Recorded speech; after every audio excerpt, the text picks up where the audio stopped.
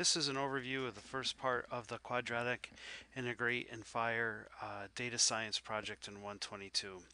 Um, you're going to get this file here and I've already included these measurement things to extract um, the period of the spiking period. Alright, you can see I have RC here um, and I'm setting this uh, input positive uh, between 0.1 up to 2 in steps of 0.1. Here's a V reset of minus 1 and it'll peak at 2. So let's just run it.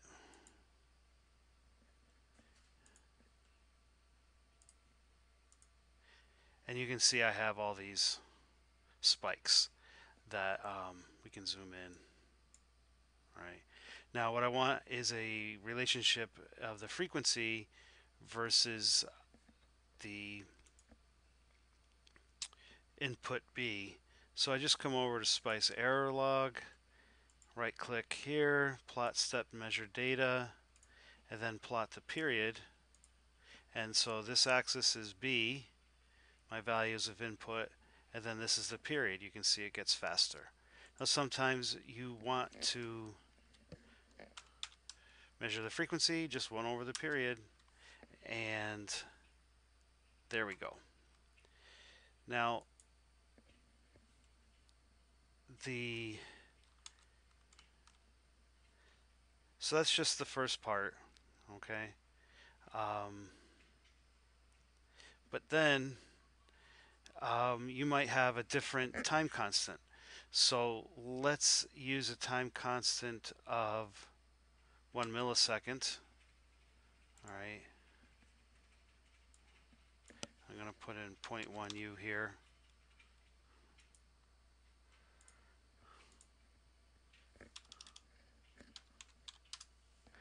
I'm going to rerun the simulation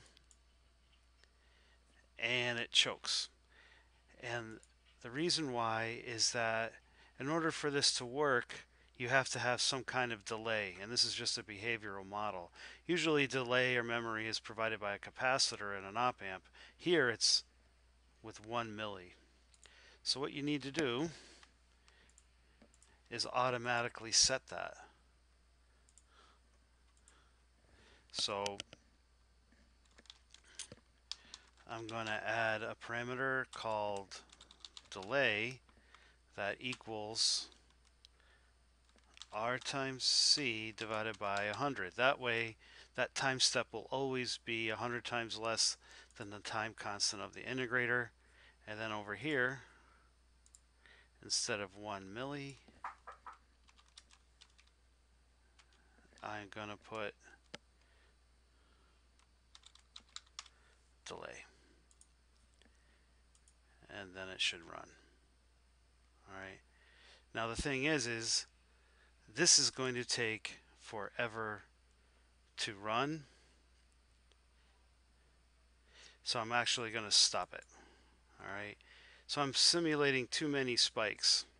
So I'd like to only uh, simulate like three and the way I'll do that is come over here. And I have a simulation time parameter 3.1 because I want a little more than three periods of spiking. And then this is the equation that'll give me the period the theoretical value of a of the spiking frequency. So I just make a new parameter and then in transient I do that. Now the other time I did that, it took maybe 10 minutes for that simulation to run. This it's very quick.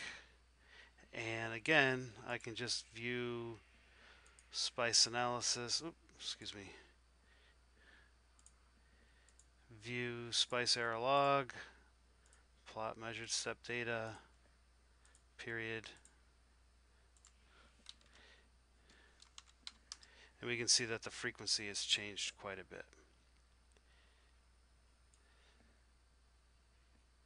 Now the last thing we need to do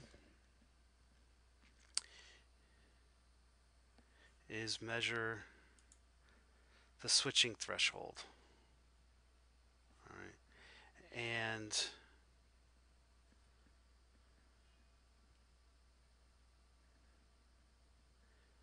what I think I'll do is make that a separate video.